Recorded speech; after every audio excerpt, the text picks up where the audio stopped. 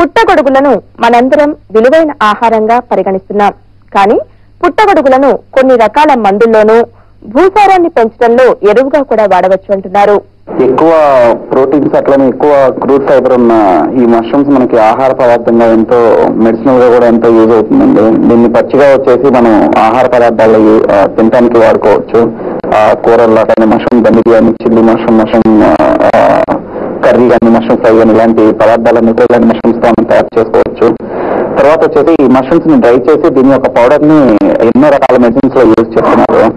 అట్లాగే వచ్చేసి ఈ మష్రూమ్స్ని మొత్తం కటింగ్ అంటే అయిపోయిన తర్వాత అంటే పూర్తిగా మష్రూమ్స్ అన్ని కట్ చేసిన తర్వాత ఈ యొక్క బ్యాగ్ అంటే మైసీలియం తో కూడిన ఈ యొక్క ఫంగస్తో కూడుకున్న ఈ మట్టిని కూడా మనం పొలాల్లో ఎరువుగా కూడా యూజ్ చేసుకోవచ్చండి.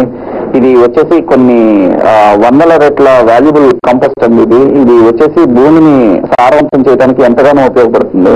ఈ యొక్క మైసీలియం అనేది ఏంటి అంటే భూమిలో ఎప్పటికీ కూడా ఆ జీవంలో ఉండేలాగా భూమిని ఎప్పటికీ కూడా మనకి ఆ సారవంతంగా భూమిని ఇచ్చేసేలాగా ఈ యొక్క ఫంగస్ మనకి ఎంతగానో ఉపయోగపడుతుంది.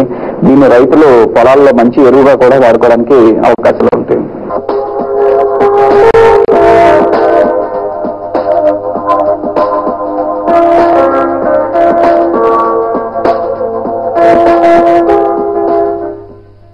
మార్కెట్ సమీక్ష మున్సిపల్ పూల